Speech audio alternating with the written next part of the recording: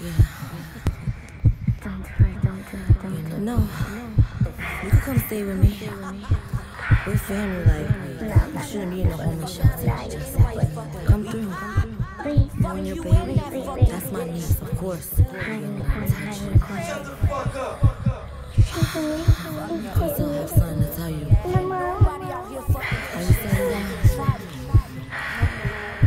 Don't go to his house.